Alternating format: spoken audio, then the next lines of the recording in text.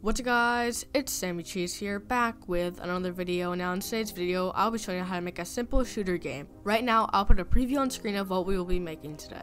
As you can see, it's a simple shooter game that you can add on to and publish. So for example, I'm going to get you started with a base, and then you can just keep on adding on to it until it's a fully fledged game. But if you actually want to see a game series, let me know with a comment down below. If I get enough comments, I might make a series out of this. Anyway, let's start coding. First thing you want to do is make a new sprite and delete the scratch cat. Call the sprite player. Then go to your square tool. Make the fill whatever color you want. I'm just going to make it red.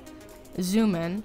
And if you hold shift, you can actually make a perfect square. So this will be the player sprite. I would say get it to about this size and you can bump up the outline if you want to. I say I like that. Alright guys, first thing you want to do is go to variables. We are going to make three variables. Make sure they are all selected for all sprites. First variable is going to be called ammo. The next variable is going to be called lives. And the final variable is called killed, or how many zombies you've killed or whatever. So for the player, the code is one green flag clicked, motion, go to x0, y0, put that in there. Go to variables, set ammo to 16, put that on there point in direction, that's in motion, 90. Next scripted code is one green flag clicked, forever if, make sure to grab that, and grab three other if blocks, because this will be the movement. Sensing key, you can either do arrow keys or WASD. I'm going to do WASD, so I'm going to drag four key blank press. I'm going to change the first one to W all the way at the bottom here. Next one to A. Next one to S. Final one to D. I'm just going to drag these in here. Once you have done all that, go to motion, go to change Y by. Make sure this is 3. Put that in W.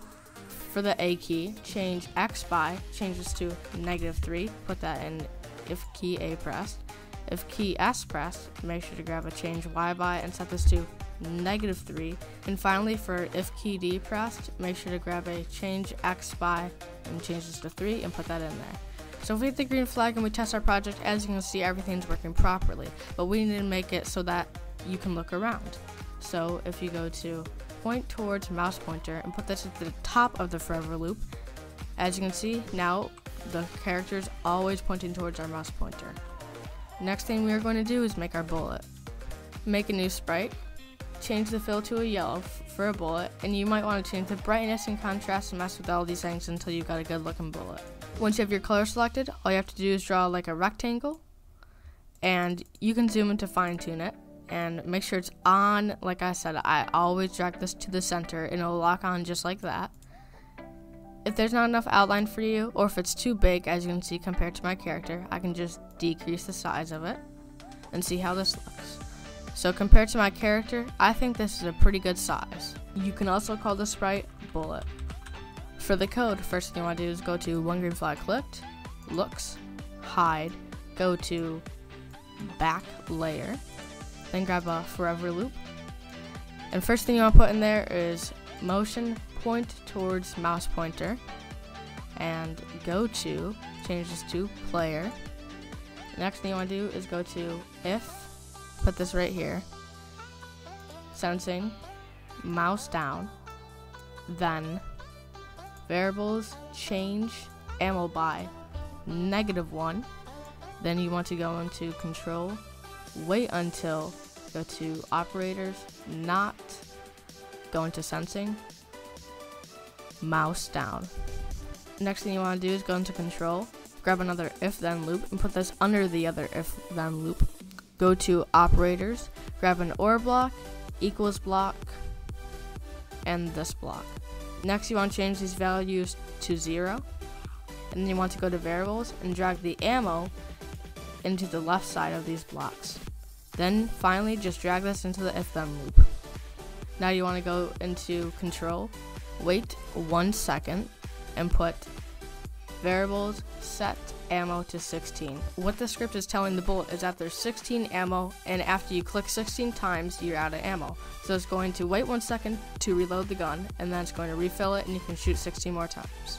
Now let's make it so you can act, go to events, when green flag clicked, grab a forever if block, put that in there. Then you want to grab a if then else block and put it inside the if then block. And you want to go to sensing if mouse down, put this in the first if then block. And then what you want to do is you want to right click on this if ammo equals zero and press duplicate.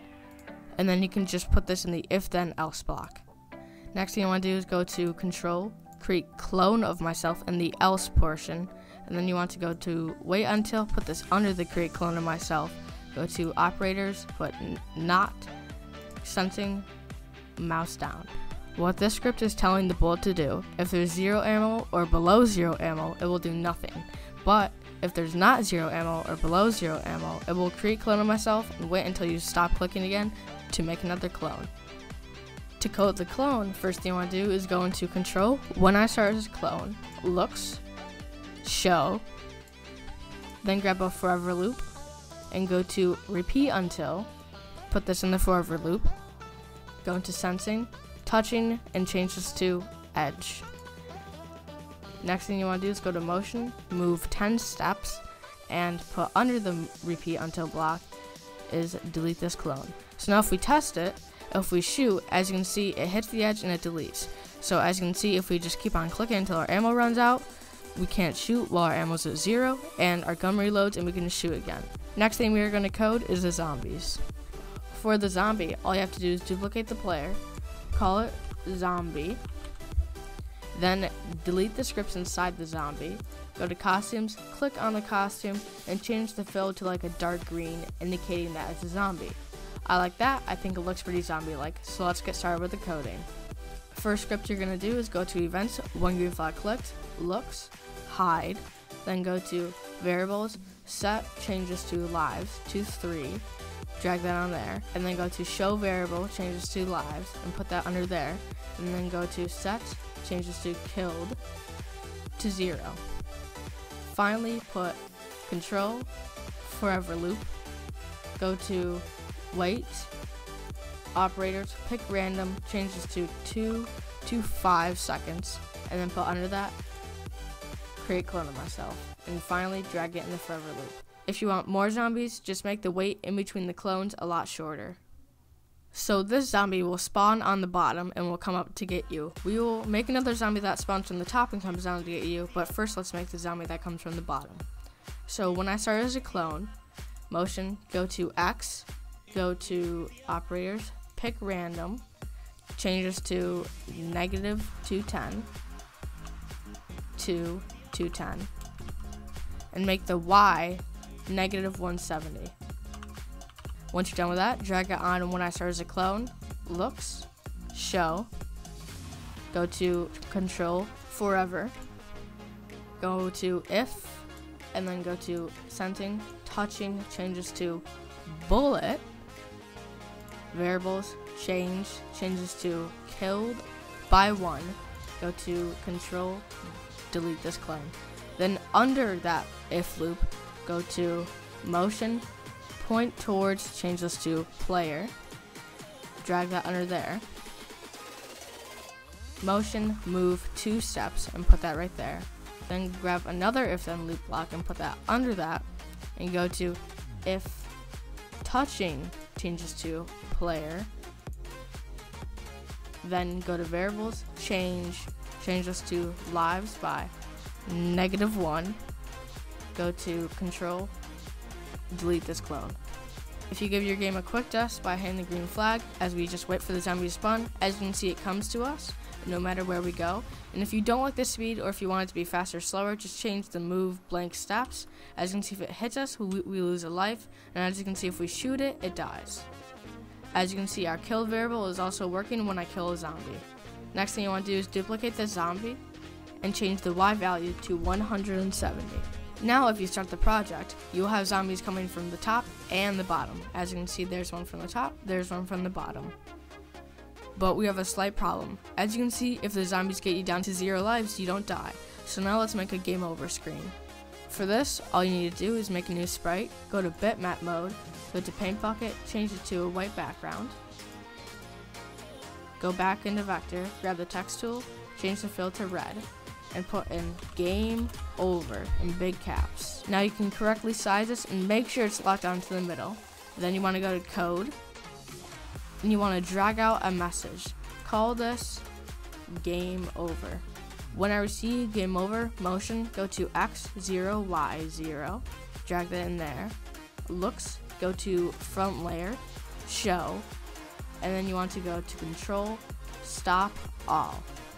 And finally, one green flag clicked, hide. Now to make this work, we have to go back into the player sprite, and we have to go to control, and grab another if then loop and put this on the bottom.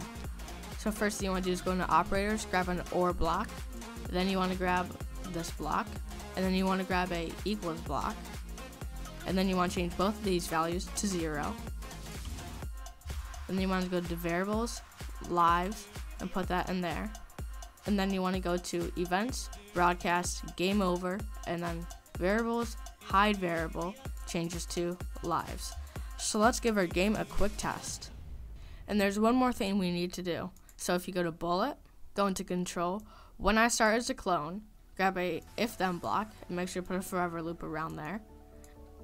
Go to operators, grab a or block, go into sensing, if touching changes to zombie, if touching changes to zombie 2, go into control, wait 0.08 seconds, and then you want to go to delete this clone.